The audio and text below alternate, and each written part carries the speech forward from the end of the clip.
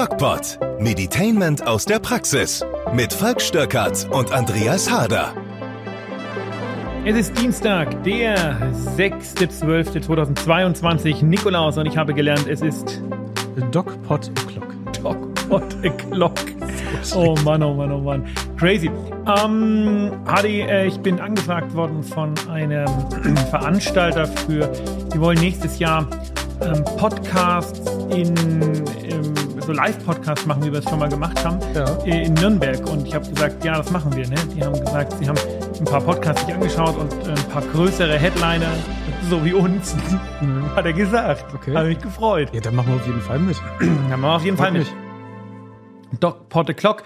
Und ähm, ich möchte von hier aus mal ähm, die vielen Patienten grüßen, die äh, mich immer auf den DocPod ansprechen. Finde ich total cool. Äh, ist, ist echt so. Und äh, in diesem Sinne wünsche ich gute Besserung. Hattest du auch schon welche, die einfach nur in die Klinik gekommen sind, um dich äh, kennenzulernen? Ja, Was? ja, ohne Scheiß. Echt? Ja. Deine Mutter? oh, der kam flach und unerwartet und war schlecht. Ähm, ja, HD, momentan ist ja offenbar jeder krank. Ja. Bei euch ich, auch? ich war letzte Woche. Hab ich, ah, hab ich ich, habe deine Krankmeldung im Auto liegen. Ah, praktisch. Ich Ja. hab's schon per E-Mail. äh, nee, wirklich. Also äh, unsere Kinder gehen immer so die Runde durch. Krank, kr äh, dann- so, was schon, sowieso Dominosteinchen. Ja. Gesund, gesund, gesund, krank, gesund, gesund, krank, krank, gesund, gesund, krank, krank. Und dann, und, Und- dann und sind wir dran. Es ist furchtbar. Wie überlebst du das oder hältst du dich fern? Ich glaube tatsächlich, dass ich und jetzt kommen wir zu einer total charmanten, im Vorhinein nicht abgesprochenen äh, Übergang, ähm, dass mein Immunsystem trainiert ist. Äh, hör auf. Jetzt muss ich sagen, apropos trainiert. Ah, da wird doch was gehört. Ne? Ah, Ja, das haben wir gerade schon abgesprochen. Tatsächlich. Nein, haben wir nicht. Das Tatsächlich- wirkt dir doch jetzt voll spontan. Ja, das merken die doch. Tatsächlich habe ich einen Beitrag gesehen. Ich kann mich nicht mehr an den, ja, an den Titel erinnern so richtig, aber Aber Bild TV, oder? nee, ich glaube, die besprechen das nicht so in der Tiefe. Bild Aber wir machen das. abgeschafft. Jedenfalls ähm, haben wir ja letzte Woche über das Immunsystem gesprochen und dass wir uns das in der Corona-Zeit so ein bisschen abtrainiert haben, also nicht mehr so richtig äh, ja, abgehärtet sind äh, gegen die ganzen Viren, die jetzt wieder kommen und das wieder neu lernen müssen. Und in dem Beitrag, den ich gesehen habe, haben die nicht von Training gesprochen. Das äh, wäre wohl der falsche Begriff, sondern von Update für Ja. das Immunsystem. Das habe ich nicht ganz verstanden. Vielleicht kannst du da ein bisschen Licht ins, ins Dunkel bringen. Ist eine Frage der Terminologie, ne? Also ähm, Training ist jetzt äh, sicherlich kein sauberer Begriff, sondern einfach der Begriff, den ich genutzt habe, um das zu veranschaulichen. Im Grunde genommen äh, haben wir, müssen wir das Immunsystem updaten, wie wir auch den Impfstoff gegen die Covid-19-Geschichte updaten. Mhm. Und ähm, das ist damit gemeint. Das heißt, wir, das Immunsystem muss immer wieder mit neuen Viren in Kontakt kommen, vielleicht auch mal mit einer Virenmenge, die sehr klein ist, um zu merken, oha, Das ist was Neues. Okay, und nicht. da ist was Neues. Und die Frage, wenn ich mit einem Virus oder einem Bakterium in Kontakt komme, ob ich krank wäre, werde, die hängt ja von ganz vielen Faktoren ab. Die hängt ja davon ab, ähm, wie immunkompetent man ist. Also Menschen mit Immunsuppressionen werden einfach weniger stark, also bleiben weniger stark gesund, werden häufiger krank. Ähm, und ganz vielen anderen Faktoren. Und ein Faktor ist auch die Menge an Virus, die ich abbekomme. Mhm. Und im Grunde genommen daten wir uns regelmäßig ab, indem wir so Mikroinfektionen machen. Mhm. Also wir sehen uns hier, sitzen irgendwie zwei Meter auseinander, nicht aus Infektionsschutzgründen, sondern einfach, weil das Studio das so hergibt. Und in der Zeit reden wir miteinander, atmen uns an und du erwischt vielleicht irgendwie ein paar Virenbestandteile von mir, ich ein paar von dir. Unsere Körper merken, aha, da geht was rum, zack, und bauen eine Immunität auf. Und wenn wir dann die mit dem Virus in größerer Menge in Kontakt kommen sollten, weiß der Körper, ähm, ah, das ist der Bosche und hat schon eine Waffe dagegen entwickelt sozusagen. Ja? Ja. Und das ist im Endeffekt so funktioniert. Genau, dieser Austausch, der ist jetzt nicht so erfolgt in der Pandemiezeit durch die Schutzmaßnahmen. Und die Viren bleiben ja nicht stehen, die verändern sich ja auch kontinuierlich. Das heißt, Genau. jetzt haben wir wahrscheinlich einfach über zwei Jahre haben die sich weiter mutiert und wir sind nicht dran gewöhnt und jetzt passt nicht der Schlüssel mal so exakt. Genau, man redet hier von abzuwehren. Koevolution Mhm. und normalerweise matcht das immer ganz gut. Es sei denn, irgendwas Neues kommt dazu. wie zum Beispiel so ein Coronavirus. Mhm. Oder aber es kommt zu einer Situation, wo wir zwei Jahre lang Masken tragen oder so. Und da ist dieser Austausch tatsächlich weggefallen und das ist ein echtes Problem. Und ich finde, man hätte damit offener umgehen können, weil natürlich den Corona-Leugnern und den ganzen ähm, ja, Querdenkern da jetzt so ein bisschen ähm, die Argumente, die sie vor zwei Jahren gebracht haben, in die Waagschale gelegt werden, obwohl das vor zwei Jahren eine völlig andere Situation war. Man hätte sagen müssen, Freunde, die Maske ist wichtig, die müssen wir aufsetzen, Komma aber, ähm, wir erkaufen uns damit eine gewisse Sicherheit zu einem Preis. Mhm. Und der Preis ist, dass wir, wenn wir sie wieder abnehmen, je länger das dauert, eine große Krankheitswelle bekommen werden. Vermutlich werden daran nicht so viele sterben. Was ich aber sehr, sehr interessant fand, Hardy, ähm, war ein Artikel oder ein Kommentar in einer von diesen vielen Zeitungen, ich weiß gar nicht, FAZ oder Süddeutsche, ähm, da bin ich ja eigentlich immer nicht so ein Fan der Kommentare dort, weil die meistens in eine Richtung gehen, die ich nicht teile. Aber diesmal war es ein sehr interessanter Kommentar und der sagte, es ist eigentlich faszinierend, als die Alten und Kranken Schutz brauchten, nämlich weil die Krankenhäuser überlastet waren. Da haben wir das Leben komplett runtergefahren und bezahlen mussten auch die Kinder. Das ist so, das wissen wir. Im Nachhinein äh, lässt sich feststellen, dass äh, Kindergartenschließungen nicht notwendig waren. Das wussten wir im Vorfeld nicht, aber wir haben auf Kosten der Kinder, die ähm, am Coronavirus nicht so stark erkrankt waren wie die Älteren, beschlossen, dass wir ähm, die Älteren schützen. Hm, jetzt kommst du auf RSV. Jetzt haben wir sprechen, RSV. Ne? Ja. Zwei freie Bettplätze in Bayern oder mittlerweile gar keine mehr äh, für Kinder. Und keine alte Sau denkt daran zu sagen, wie können wir denn unsere Kinder schützen. Mhm. Und das finde ich schon mh, mm, bezeichnend für eine Gesellschaft, die nichts anderes kann, als an sich und ihre eigene Moral zu denken. Wobei die kritischen Kommentare kamen dann schon, ne? weil die Plätze sind ja quasi da, aber können nicht besetzt werden aus Personalmangel. Das ist Das ja, war doch genauso vor zwei Jahren. Ja. Die kritischen Kommentare. Hat man nichts draus gelernt, ne? Die, ja, zum einen das, und da reden wir auch gleich drüber noch. Die kritischen Kommentare kamen natürlich aber äh, keine Konsequenzen, keine Handlungen äh, waren dahinter. Und das ist der große Unterschied. Und da muss man einfach sagen, das spiegelt, wir brauchen jetzt nicht über Katar und die Mundzuhaltegeste diskutieren, aber all das spiegelt unsere doppelt, unsere deutsche moralische Doppelzüngigkeit und auch irgendwo Verlogenheit wieder. Auf der einen Seite wird die Moralkeule ausgepackt, die ich ja genauso mitgeschwungen habe. Mhm. Auf der anderen Seite interessiert es wenn es um Gruppen geht, die nicht wählen dürfen, einfach keine alte Sau. Tja, die Konsequenz. Willkommen in der Demokratie. wo auch die geschützt werden, die kein Wahlvolk sind. So, dann war das äh, unser Update äh, zum letzten Dogpod. Was sagt ihr dazu? Also ähm, mal vielleicht den Aufruf jetzt ähm, relativ am Anfang des Podcasts. Wie seht ihr das? Findet ihr, ich übertreibe und das ist alles gar nicht so schlimm? und man sollte da mal die Kirche im Dorf lassen? Oder findet ihr oder seht ihr das genauso wie ich und sagt, das ist ähm, deutsche Heuchlerei? Würde äh, mich schrägstrich uns interessieren. Kommentiert gerne bei Instagram, der DocPod oder nein, stopp, um Gottes Willen, Kommando zurück. Der DocPod gibt es ja gar nicht mehr bei Instagram, der bei Instagram Doc Falk. Oder, und jetzt kommt's, Trommelwirbel? Ich habe keine Trommelwirbel. Wir lassen unseren YouTube-Kanal wieder aufblühen, der ja Jawohl. jetzt für ein halbes Jahr komplett brach lag. Ja, wer Zeit, mal drauf, wird's. Ja, wer mal drauf geschaut hat, der wird sehen, dass mein Freund Hardy eine, einen ganz neuen Look kreiert hat. Hast du sehr gut gemacht. Danke.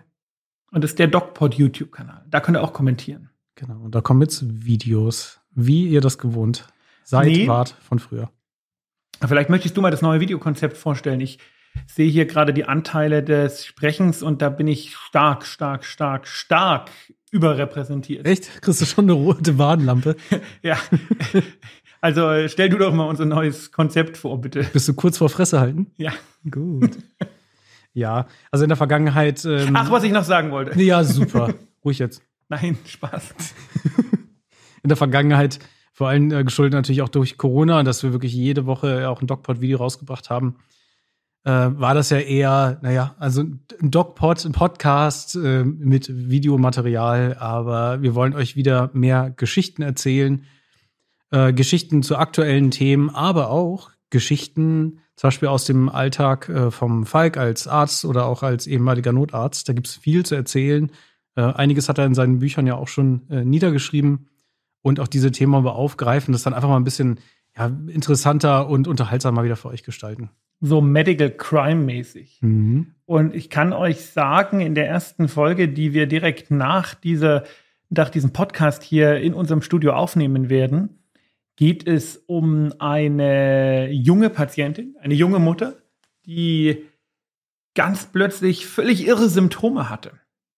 Die hat mal ihren Arm nicht gespürt, dann hat sie plötzlich ein Fiepen im Ohr gehabt und dann war sie beim Arzt und hat die Diagnose bekommen mit ein bisschen Wirbelsäule, aber hauptsächlich ein bisschen, bisschen psycho überlastet. Und ähm, wenn sie dieser Diagnose geglaubt hätte, das war im August, Juli, August, wäre sie heute tot. Mehr erzähle ich dazu nicht. Das wäre auch besser, so. Sonst können wir uns das Video sparen. Genau. also, also schaut mal rein, der DocPod YouTube-Kanal. Ein kleiner Geile Ausblick. Nummer. Ja. Gut, aber jetzt kommen wir mal zurück, oder? DocPod ist ja, ihr wollt ja was hören von uns, was Neues vielleicht sogar. Was haben wir denn heute? Ja, ich würde gerne mal in die Diskussion einsteigen mit dir heute zum Thema Gesundheitsreform. Wir reden ja alle zehn Jahre mal über eine Gesundheitsreform. Die letzte große Gesundheitsreform war die Einführung des sogenannten DRG-Systems, an dem unser werter Gesundheitsminister Professor Dr. Dr. Karl Lauterbach federführend mitgearbeitet hatte. Und das DRG-System ist ein System, was darauf beruht, dass wir für, also wir reden jetzt von klinischer Medizin in der Klinik, nicht von ambulanter. Ähm, und es beruht darauf, dass man für einen Eingriff oder eine Diagnose, für die ein Patient in der Klinik ist, zum Beispiel Blinddarmentzündung, Lungenentzündung oder ähm, Krebsleiden, einen fixen Betrag bekommt. Und das Krankenhaus muss so wirtschaften, dass es diesen fixen Betrag gewinnbringend einsetzt. Jetzt kann ich dich rhetorisch fragen, glaubst du dann, das ist gut? Nein. Welche Probleme ergeben sich denn daraus?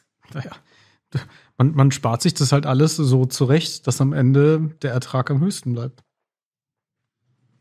Naja, Wahrscheinlich werden Leistungen reduziert, vielleicht werden ähm, ja, Behandlungen schneller durchgeführt. Ich weiß nicht genau, was das im Detail bedeuten kann. Ne? Abhängig wahrscheinlich von der Krankheit. Aber ich denke mal, das entspricht nicht unbedingt äh, dem Prinzip, äh, nach dem dem Patienten am besten geholfen wird. Naja, Tatsache ist ja, wir haben momentan, ähm, nachdem Krankenkassen über ja, Jahre viel Plus erwirtschaftet haben, haben wir durch Corona auch jetzt ein massives Minus in den Kassen. Mhm. Und das muss man irgendwie auffangen, weil das, die Kosten des Gesundheitssystems, die explodieren. Ja. Und das kann man auffangen, indem man die Beträge erhöht, oder das kann man auffangen, indem man am System rumschraubt. Ähm, und da ist eben die Frage, und deswegen hatte ich mit diesem DRG-System angefangen, das wird ein bisschen jetzt noch in eine andere Richtung gehen. Ist es richtig, dass Krankenhäuser, ich bleibe jetzt mal bei Krankenhäusern, gewinnorientiert arbeiten müssen, gewinnorientiert arbeiten sollen? Sprich, ein Krankenhaus ist nichts anderes als ein Wirtschaftsunternehmen. Und daraus resultierend haben wir natürlich Schwierigkeiten, die du schon angesprochen hast. Ich äh, mache es mal an einem, an einem Beispielpatienten, der ins Krankenhaus kommt, wegen einer Patientin, die ins Krankenhaus kommt, wegen einer Schwangerschaft, Geburt. Die Geburt wird verkompliziert und sie kriegt einen Kaiserschnitt. Und für diesen Kaiserschnitt bekommt das Krankenhaus 3500 Euro. Da sind die Arztkosten mit drin, da sind die Vorhaltekosten mit drin, da sind die Übernachtungskosten mit drin, da ist Essen mit drin, da ist der Strom mit drin. Strom, großes Thema aktuell. Mhm. Ähm, da ist das Wasser mit drin, da ist der Hausmeister mit drin, da ist jeder mit drin. Ja. So. damit müssen die jetzt wirtschaften. Und dann ist natürlich die Frage, schicke ich diese Patientin nach einem Tag nach Hause? Schicke ich nach zwei Tagen nach Hause oder schicke ich die erst nach sieben Tagen nach Hause? Ja, am besten sofort. Am besten sofort. Das ist der wirtschaftliche Aspekt, der dahinter steckt. Klar.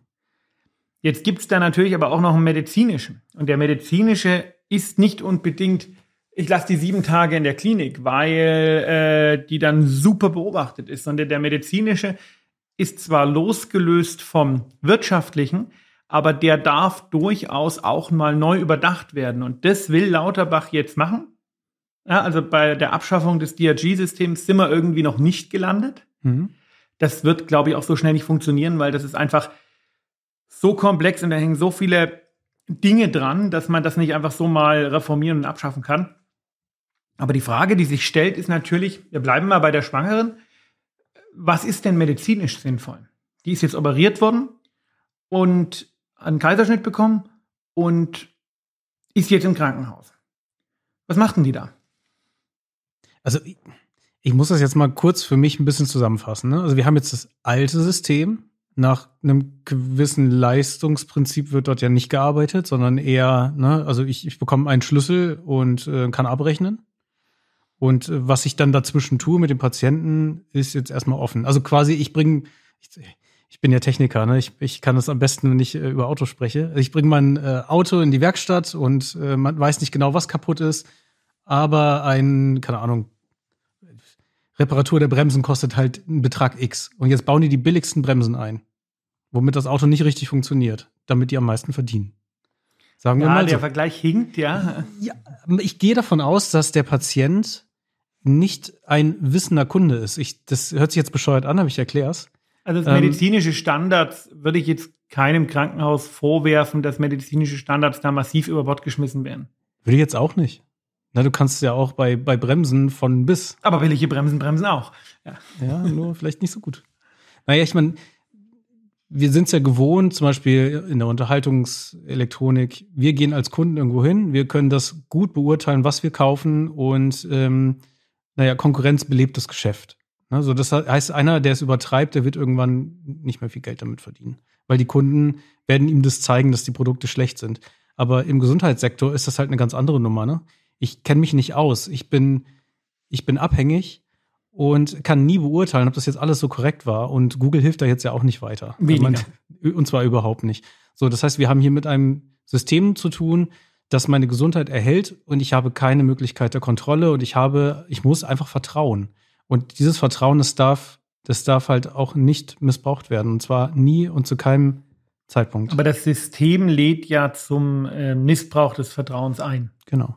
Also das System zwingt die Krankenhäuser ja dazu. Das System sagt, ihr müsst wirtschaftlich arbeiten, sonst werdet ihr vom Markt gefegt. Und diese beiden Ansprüche passen ja nicht zusammen.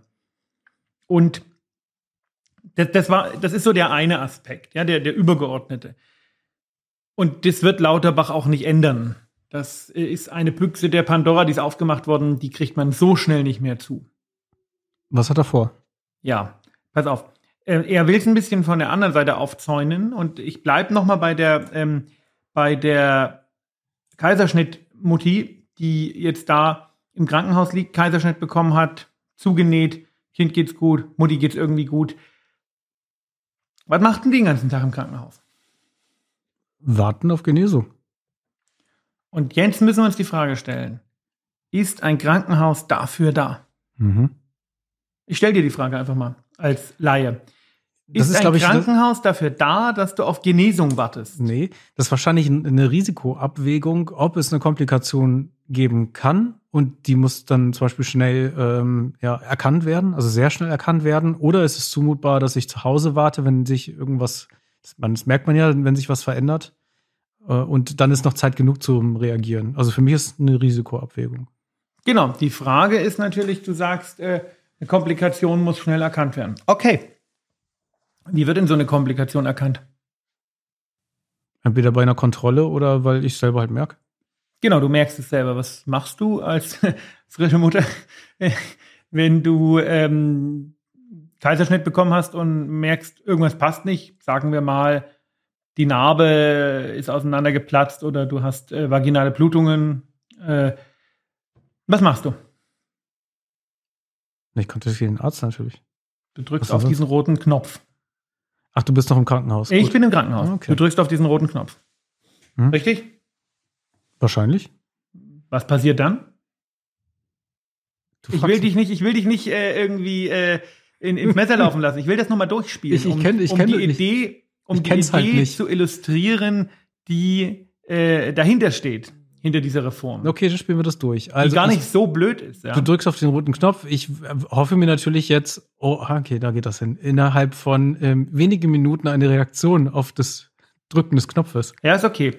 Reaktion auf das Drücken des Knopfes kommt. Da kommt üblicherweise erstmal der Lehrling, sagt, was ist denn los? Dann erklärst du es ihm. Genau. Weiter. Also ich blute da zwischen den Beinen.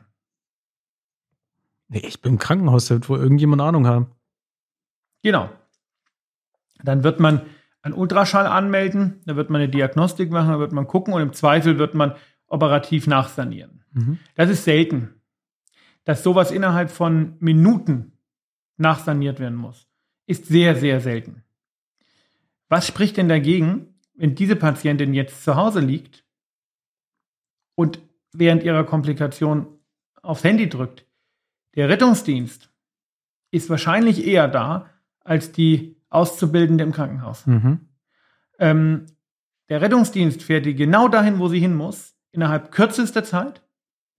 Und da ist ein Arzt, der immer vorgehalten wird, weil er nämlich genau für solche Notfälle da ist und kann die Patientin versorgen. Das wird vermutlich insgesamt genauso schnell gehen oder schneller, als wenn der Patient jetzt im äh, Krankenhaus liegt. Mhm. Und da kommen wir jetzt zu, äh, da kommen wir jetzt zu dem Punkt, den ich, äh, ähm, den ich besprechen möchte, nämlich die Frage, äh, müssen viele Dinge tatsächlich, ist das Krankenhaus ein Ort, um zu genesen? Und da sagt Lauterbach, warum denn nicht in die ambulante Medizin auslagern? Und da hat er nicht Unrecht. Jetzt kannst du sagen, jawohl, der Arzt kann ja auch kontrollieren, ob eine Komplikation ist. Sickerblutung. Wird, wird jeden Tag Blut genommen, geguckt, ob die roten Blutkörperchen abfallen. Mhm. Du, du, das wäre Kann der Hausarzt machen, ne? Das wäre sogar möglich, weil ein Krankenhaus Aufenthaltsplatz, allein die Räumlichkeiten kosten halt schon viel Geld. Du sparst dir das Geld und du könntest ja auch ein quasi so ein, so ein 24-Stunden-Notfallteam haben, das halt regelmäßig Hausbesuche durchführt, ne? Täglich mal kurz vorbeischaut oder sowas könntest du auch. Genau, man muss wissen, alles, was du ambulant machst, alles, was du ambulant machst, ist, wenn du es mit demselben vergleichst, was du im Krankenhaus machst, deutlich billiger. Ja. Also muss man sich die Frage stellen, warum brauchen wir denn eigentlich Krankenhäuser? Und die Antwort ist fast immer nur aus sozialen Gründen, weil wir die Leute, die sich in einer akuten Krankheitssituation befinden, zu Hause nicht versorgt bekommen. Mhm. Ein Krankenhaus ist aber für ein Hotel einfach viel zu teuer. Ja, eindeutig. So, jetzt gibt es natürlich Schwerstkranke, die auf einer Intensivstation liegen, die werden da ausgenommen. Es gibt ähm, große Operationen, wo du sagst, okay, da möchtest du jetzt nicht zu Hause liegen, wo du irgendwie zehn Schläuche in dir drin hast. Ja, Mhm. aber auch da kannst du, nachdem die Schläuche raus sind, ja durchaus überlegen, nach Hause zu gehen. Ähm, und der Grundgedanke ist, Medizin raus aus dem stationären Sektor, wo auch immer es geht, rein in den ambulanten. Und wenn man den, diesen Grundgedanken zu Ende denkt und sagt, okay, dafür müssten Strukturen verbessert werden, Pflegedienste und so weiter und so fort, ähm, dann löst der mehrere Probleme. Der löst ein Fachkräfteproblem, der löst ein finanzielles Problem und der löst ein strukturelles Problem. Mhm. Hört sich erstmal gut an, oder? Gibt es einen Haken? Wie ist es mit der Finanzierung? Wenn wir das jetzt mal, das haben wir ja vorhin angesprochen, wie, wie wäre es jetzt hier? Gäbe es dann auch Schlüssel? Meine, der Arzt vor Ort, der wird wahrscheinlich entscheiden. Der Arzt vor Ort wird ja immer auch entscheiden müssen, ähm, bekomme ich jetzt einen Schlüssel für einen längeren Aufenthalt mit der Begründung X, weil die Person muss unbedingt hier bleiben. Ähm, wie, wie entscheidet er sich und welche, welche, ja, sagen wir mal, Belohnung bekommt er? Für welche Im Entscheidung? Krankenhaus gibt es das System der sogenannten Grenzverweildauern, mittleren Verweildauern. Das sind tatsächlich vom Controller ausgerechnete ähm, Dauern für jede Erkrankung, ab wann sich das fürs Krankenhaus gar nicht mehr lohnt. Mhm. Aber nochmal, du redest von der Finanzierung. Rumliegen musst du nicht finanzieren. Was passiert im Krankenhaus? Da kommt dreimal, also in einer Normalstation, kommt dreimal am Tag jemand, der Blutdruck misst, der Zucker misst. Das sind alles Dinge, die kann der Pflegedienst zu Hause auch machen. Nur beim Pflegedienst, der nach Hause kommt, vielleicht sogar, man bräuchte da sicherlich angepasste Strukturen, dass man Praxen verantwortlich macht für die Betreuung solcher in Anführungszeichen kritischeren Patienten. Ja, aber trotzdem, die echte Arbeit am Patienten, die medizinische Arbeit am Patienten in der Klinik, das sind, das ist eine minimale Zeit pro Patient. Der Rest der Zeit ist, wie du sagst, warten auf Genesung, sprich rumliegen. Mhm. Dieses Rumliegen kostet uns aber, kostet der Solidargemeinschaft ziemlich viel Geld. Ja. Wenn man dieses Rumliegen versuchen würde, zumindest in einigen Fällen, lass es nur ein Drittel der Leute sein, in den ambulanten Bereich zu legen, würden wir uns sehr viel Rumlieggeld sparen. Mhm. Und das würde das Gesundheitssystem effektiv entlasten. Was halt wichtig an der Idee ist, und jetzt haben wir vorhin schon das Wort Vertrauen genannt, dass das natürlich passt, ne? Dass wenn, wenn ich jetzt, mir geht's nicht gut, ich habe eine OP gehabt und der Arzt sagt, nee, du kannst schon zu Hause warten, ne? Und jetzt habe ich als Patient ja immer sofort Bedenken. Ist das jetzt die richtige Entscheidung? Bin ich vielleicht derjenige, bei dem eine blöde Komplikation auftritt? Ähm, Gehe ich jetzt ein höheres Risiko ein? Das muss natürlich passen. Ne? Da darf am Ende nicht rauskommen, dass das Krankenhaus jetzt irgendwie ähm, gewillt ist, die, die, Patienten möglichst sofort und möglichst schnell immer nach Hause zu schicken, auch wenn das vielleicht von der Risikoseite nicht mal die beste Entscheidung ist. Das, das kommt muss natürlich doch, passen. Naja, ne? das kommt doch auf die Strukturen an, die zu Hause vorhanden sind. Mhm. Wenn in, denn der ambulante Bereich so gestärkt wird, umstrukturiert, was aber nicht so schwierig wäre, ähm, auf eine Art und Weise, dass du sagen kannst, okay, jetzt ähm, ist die medizinische Überwachung und das Notfallmanagement solcher Patienten fast identisch wie im Krankenhaus, weil ambulante Mediziner auf diese Patienten acht geben, weil Pflegedienste involviert sind, weil die Patienten ein Notfallmanagement haben, die sagen, wenn was passiert, drückst du auf den Knopf 112, dann kommt jemand. Dann wird es was die Patientensicherheit angeht, nicht großartig anders sein. Das ist quasi und, eine Verlagerung ins Homeoffice. Ne? Genau. Und man muss dazu, also was man dazu halt sagen muss, ist, die Kliniken werden CETA und Mordio schreien. Ne? Mhm, das ist völlig klar. Ähm, aber ich meine, so geht es jetzt auch nicht weiter, ne? Genau. sehen wir ja gerade. Ne, wir haben vorhin das Beispiel mit den Kindern gehabt. Ja, überall zu wenig Geld, zu wenig Personal. Ich meine, das ist ja auch nicht wünschenswert, was wir da jetzt gerade uns angezüchtet haben. Vielleicht durch die Regeln, die wir eben so haben im Ärztebereich. Und vielleicht noch eine Motivation. Für viele Patienten ist es ja sogar wünschenswert, möglichst schnell wieder rauszukommen. Also ich kenne da genug, die dann nach zwei Tagen keine Lust mehr haben und sich denken, ja, zu Hause kann ich genauso irgendwie da sein und äh, dann nervt mich mein, mein äh, Bettnachbar nicht. Kann, so ist es. Kann, kann auch positiv sein. Was denkt ihr darüber? Schreibt uns bei Instagram, bei YouTube. Und ähm, spannendes Thema. Mhm. Ich bin gespannt, wie sich entwickelt. Und wir hören uns nächste Woche wieder. Bis dahin. Ciao, ciao. Das war der DocPod. Eine neue Folge jede Woche dienstags.